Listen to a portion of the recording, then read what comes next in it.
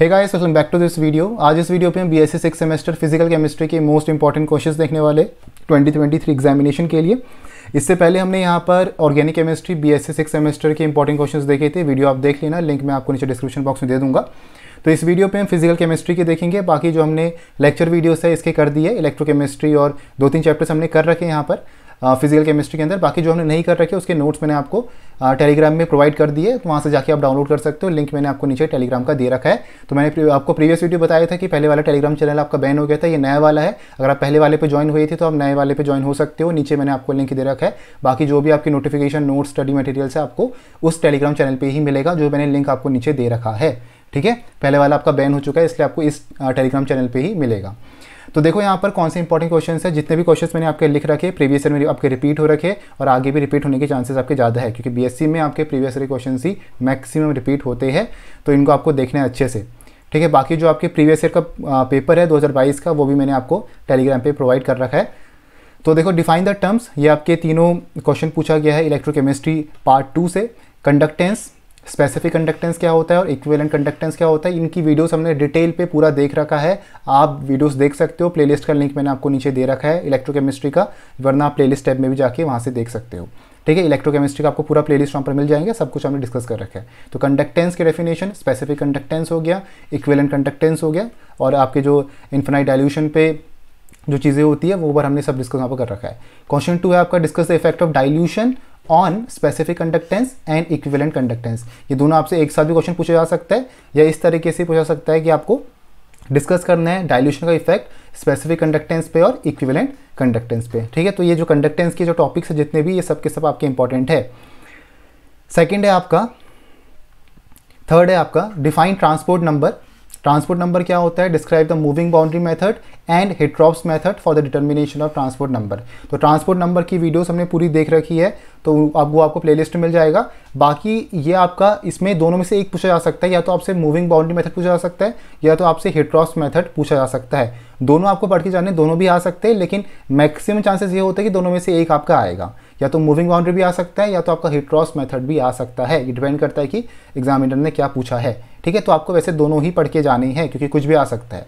पिछली बार आपका moving boundary method आया था तो कुछ भी आ सकता है। आपको दोनों पढ़ के जाने, दोनों ईजी है। इसकी वीडियोस हमने देख रखी है, वो आप देख सकते हो। आप पंद्रह बीस मिनट की आपकी वो वीडियोस है दोनों तो वो आपको वहाँ पर समझ में आ जाएगा। दोनों टॉपिक ईजी है ट्रांसपोर्ट नंबर ठीक है? तो ये पूरा टॉपिक आपसे क्वेश्चन थर्ड वाला जो पूछा गया ये ट्रांसपोर्ट नंबर से ही पूछा गया है। और इतने पे ही आपको जो पूरा ट्रांसपोर्ट नंबर है, वो खत्म हो जाता है। ठीक है? ये दो मेथड्स हो गए आपके और ट्रांसपोर्ट नंबर की डेफिनेशन होगी और किस तरीके से हम दोनों मेथड से ट्रांसपोर्ट नंबर निकालते? बस। क्वेश्चन फोर्थ है आपका derive phase rule equation phase rule equation क्या होती है? डेरिवेशन किस तरीके से होता है? वो आपको बताना है और explain the meaning of each term with example तो जो आपके फ़ेज़ रूल पे जो आपके कंपोनेंट फ़ेज़ वो सब आपके पास डिग्री ऑफ़ फ्रीडम जितने भी चीज़ें आपकी इक्वेशन पे रहती है, उसका मतलब क्या है? पहले तो आपको डिराइव करना है उसको, और हर एक मीनिंग का मतलब क्या है? किस तरीके से वो इक्वेशन आपकी डिराइव हो रखी है, वो आपको बताना है वहाँ पर। ठीक है? क्वेश्चन फिफ्थ है आपका define the electromagnetic radiation EMR क्या होता है? List the different types of electromagnetic radiation along with their frequency ranges write selection rule of spectroscopy तो ये आपके फिजिक्स से क्वेश्चन क्वांटम मैकेनिक्स आप कह सकते हो क्वेश्चन आपसे पूछा गया इलेक्ट्रोमैग्नेटिक रेडिएशन का तो इसको आपको बताने डिटेल पे जैसे आपने फिजिक्स, अगर आपकी पास है फिजिक्स पीसीएम है तो आपने चीज़ पढ़ी होगी इलेक्ट्रोमैग्नेटिक रेडिएशन तो ये वही चीज़ आप लिख सकते हो इसमें आपकी चीज़ें सेम है यहाँ पर। या तो आपने अलग से पढ़ा है केमिस्ट्री पे, अपनी बुक से, या किसी भी रेफरेंस बुक से तो वहाँ से ये चीज़ें लिख सकते हो, ठीक है?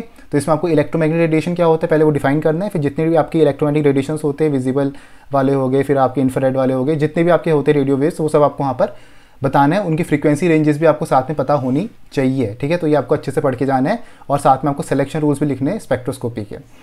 क्वेश्चन सिक्स था आपका state and explain the Heisenberg uncertainty principle ये तो लगभग सभी ने पढ़ा होता है फिजिक्स में भी होता है केमिस्ट्री में भी है आपका।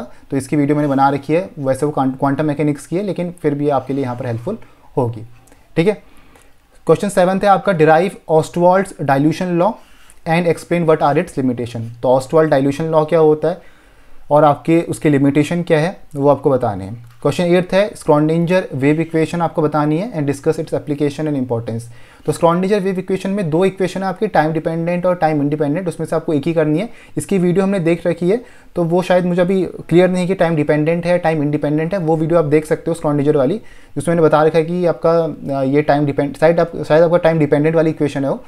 फिर भी मुझे क्लियर नहीं है और मैं आपको अगर मुझे मैं देख के बताऊँगा वरना मैं कमेंट में आपको लिख के दे दूँगा कि टाइम डिपेंडेंट है या टाइम इंडिपेंडेंट है वरना वीडियो का लिंक मैं नीचे आपको छोड़ दूँगा तो वहाँ से आप देख सकते हो कि टाइम डिपेंडेंट या टाइम इंडिपेंडेंट कौन से आपको इक्वेशन वहाँ पर करनी है।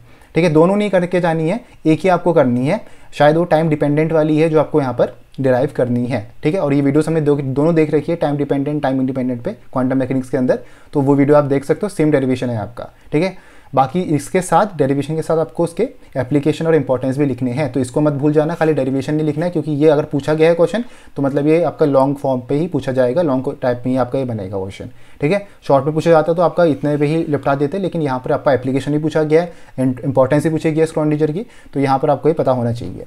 क्वेश्चन नाइन्थ है आपका what do understand by dual nature of the matter derive the de Broglie equation तो डी ब्रॉगली के बारे में जितना भी कुछ आपने पढ़ा हुआ है फिजिक्स है फिजिक्स अगर आपके पास तो आप आराम से कर लोगे क्वेश्चन को।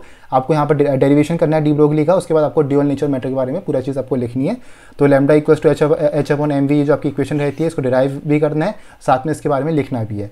ठीक है? तो अगर आपके पास फिजिक्स है पीसीएम है आपकी तो आप अच्छा खासा इसमें लिख लोगे, वरना अगर आपके पास पीसीएम नहीं जेडबीसी है आपकी तो फिर भी आपने अगर अपने बुक से पढ़ा हुआ है, कहीं से पढ़ा हुआ है, क्योंकि डी ब्रोगली का हमने वीडियो तो बना रखा है फिजिक्स में क्वांटम मैकेनिक्स में, अगर आपने वो भी देखा हुआ है तो वहाँ से ईजिली आप दो या तीन पन्ने आप आराम से यहाँ पर उससे भी ज़्यादा पन्ने आप लिख सकते हो इस पर ठीक है? डेढ़ दो पन्ने में तो आपका, उससे भी ज़्यादा पे आपका ये डेरिवेशन ही जाएगा। अगर आप अच्छे से लिखोगे तो बाकी आप इसमें ड्यूअल नेचर मैटर के बारे में भी अच्छा खासा लिख सकते हो। क्वेश्चन टेन है आपका write and note on Debye Huckel's theory ये बहुत इंपॉर्टेंट है आपका, ये मैंने नोट्स में आपको दे रखा है पीडीएफ में।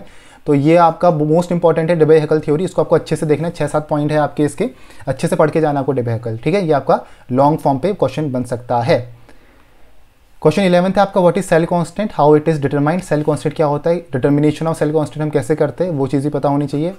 इलेक्ट्रोकेमिस्ट्री का क्वेश्चन है। क्वेश्चन ट्वेल्थ है आपका using phase rule equation draw the phase diagram of अब देखो, यहाँ पर मैंने तीनों लिख रखे वाटर सिस्टम भी लिखा है सल्फ़र सिस्टम भी लिखा है और लेड सिल्वर सिस्टम भी लिखा हुआ है। ठीक है? लेकिन कोई भी एक आपसे पूछे जा सकते हैं कोई भी दो आपसे पूछे जा सकते हैं। तीनों आना मुश्किल है क्योंकि बहुत बड़े बड़े हैं तो पूरा तो नहीं पूछा जाएगा, लेकिन आपसे एक या दो पूछा जा सकता है। ठीक है? एक तो पक्का पूछा जाएगा, लेकिन दो भी आपके आ सकते हैं। तो कोई भी दो आपको यहाँ पर पता होनी चाहिए। लेकिन सिलेबस में तीनों दे रखे, ये हमने दो तो हमने डिस्कस कर रखे।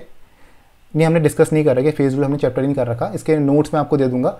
नोट्स मैंने बनाए थे इसके तो मैंने आपको प्रोवाइड करे थे पहले प्रीवियस ईयर पे। तो इसके हमने अभी तक फेस का चैप्टर नहीं कर रखा है। तो इसके जो नोट्स है, हो पाया तो मैं इस बीच में फेस का एक वन शॉट बना दूँगा।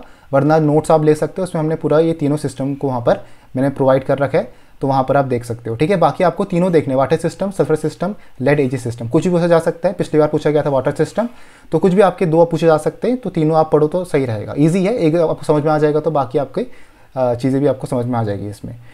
थर्टीन है आपका determination of determine pH of a solution with help of hydrogen electrode hydrogen electrode की हेल्प से हमें पीएच बताने सोल्यूशन का।